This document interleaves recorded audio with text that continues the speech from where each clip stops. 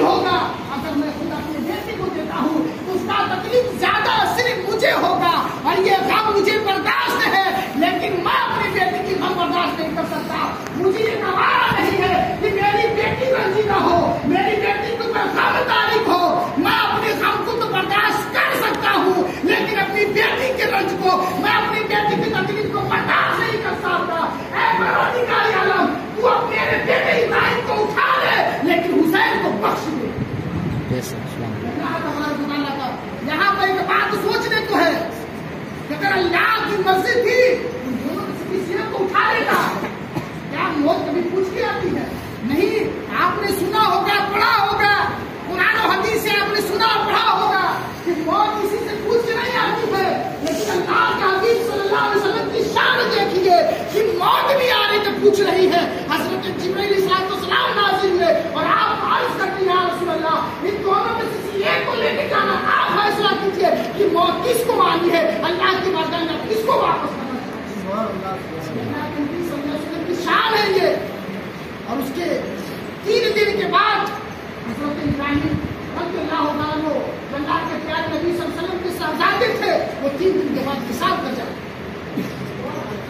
اللہ کے پیارے نبی صلی اللہ علیہ وسلم نے اپنے خود کے لختے جگر کو قربان کر کے حضرت امام حسین کو جان بخشی ہے حضرت امام حسین کو بچایا ہے اور آپ جانتے تھے کہ یہی حسین ہے جس کو میں آج اپنی اولاد دے کر زندگی بخش رہا ہوں۔ یہی وہ حسین ہے کہ ایک دن یہ اپنی جان دے کر یا اپنے اہل بیت کی جان دے کر اپنے چاہنے والوں کی جان کو قربان کر کے میرے اسلام کو بچائے گا قرآن کو بچائے گا بس ہمیں اسلام کی حفاظت کرے گا آج میں اپنے بیٹے کو اس کے اوپر قربان کرتا ہوں ایک دن ایسا آئے گا کہ یہ اپنی جان کو قربان کر کے قرآن و حدیث کی حفاظت فرمائے میرے حضرت کے نوجوانوں حضرت امام حسین حضرت امام حسن رضی اللہ تعالیٰ عنہ جن میں حضرت امام حسن بڑے بیٹے ہیں، حضرت امام حسین چھوٹے ہیں۔ ایک دن ایسا ہوتا ہے، کہ اللہ کے پیارے نبی صلی اللہ علیہ وسلم جمعے کا دن ہوتا ہے، آپ خطاب فرما رہے ہوتے ہیں۔ آپ کے ساتھ آپ خطبہ کے لیے کرتے ہیں، کہ میں خطبہ دوں۔ اللہ کے پیارے حبیب صلی اللہ علیہ وسلم ممبر شریف پر کھڑے ہو کر خطبہ دینا چالو کرتے ہیں۔ اچانک کیا دیکھتے ہیں کہ آپ کے دونوں نواز سے حضرت امام حسن، امام حسین رضی اللہ تعالیٰ عنہ ننے ننے قدموں سے مسجد میں آ رہے ہیں اور اس وقت مسجد کی جو زمین تھی، وہ پھوٹی ہوئی تھی، اس میں گرتی اور کنکر موجود تھے۔ آپ ممبر شریف پر بیٹھے ہوئے تھے خطبہ دینے کے لیے۔ آپ کیا دیکھتے ہیں کہ چھوٹے چھوٹے دو بچے ہیں، حضرت امام حسن، حضرت امام حسین، وہ کبھی گرتے ہیں، کبھی اٹھتے ہیں، کبھی گرتے ہیں، کبھی اڑتے ہیں، لیکن مسجد میں تشریف لا رہے ہیں۔ جب یہ نظر، جب ان کی آداب اللہ کے پیار نبی صلی اللہ علیہ وسلم کی نظر پڑتی ہے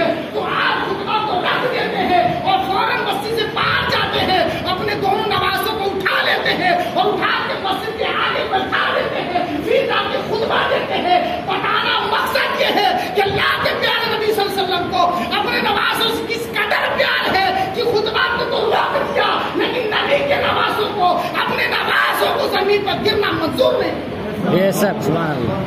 آپ خود سمجھیے۔ آپ نے خطبے کو روک دیا۔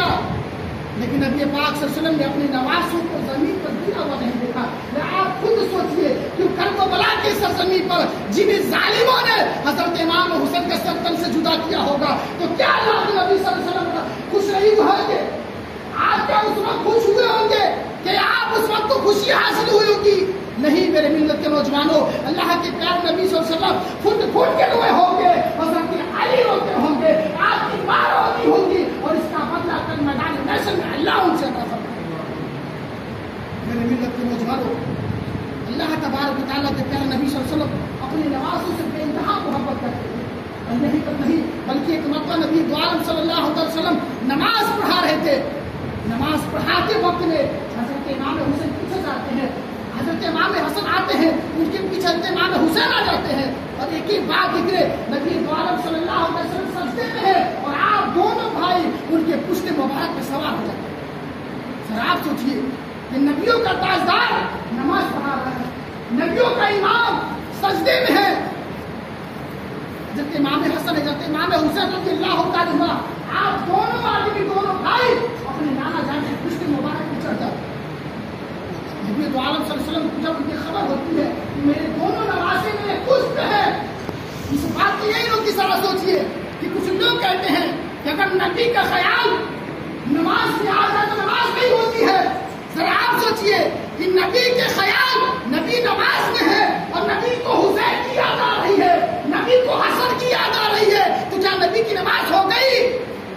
اسے پتا یہ چلتا ہے کہ اگر نبی کی یاد نبی کی محبت نماز میں نہ آئی تو نماز ہی نہیں ہوتی حضرت امام حسن امام حسین رضی اللہ تعالیٰ عنہ اس نے نبی صلی اللہ علیہ وسلم کو بیٹھے ہوئے ہیں، آپ نے سجدہ کو لمبا کر دیا، بہت دیر تک آپ سجدے میں پڑے رہے۔ صحابہ کرام سجدے میں ہے سوچ فکر میں ہے اللہ کے نبی صلی اللہ علیہ وسلم آخر کیوں سجدے میں سے سجدے سے سب نہیں اٹھا رہے ہیں؟ کہیں ایسا تو نہیں کہ سجدے کی حالت میں اللہ قرآن کی حقیقت نازل کر رہا ہے۔ آخرکار جب دونوں بھائی آپ کے پشت مبارک سے جب اترتے ہیں نبی صلی اللہ علیہ وسلم سجدے سے سر اٹھاتے ہیں اور آپ نماز کو پوری کرتے ہیں۔ نماز کے بعد صحابہ کرام نے عرض کیا، یا رسول اللہ، صلی اللہ علیہ وسلم، کیا نماز میں سجدے کو لمبا کرنے کا حکم آ گیا ہے؟ جب نماز میں آپ کی تو قرآن کی آیتیں نازل ہو رہی تھی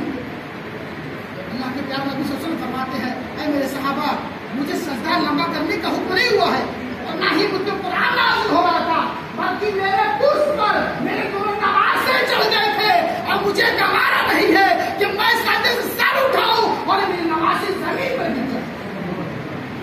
یہ آپ کی محبت یہ آپ الفت کتنا فرماتے تھے اس قدر آپ نے پیار فرمایا اپنے نمازوں سے اور اللہ کے نبی صلی اللہ علیہ وسلم کی پیار نہیں بلکہ خود اللہ نے پیار کیا ہے آپ لوگوں سے کیسے پیار کیا ہے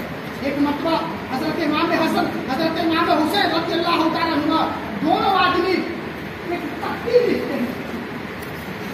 وہ تقریر اپنے اپنی رائٹنگ پیش کرتے ہیں۔ رائٹنگ پیش کرنے کے بعد لکھنے کے بعد اپنے والد کرام حضرت علی رضی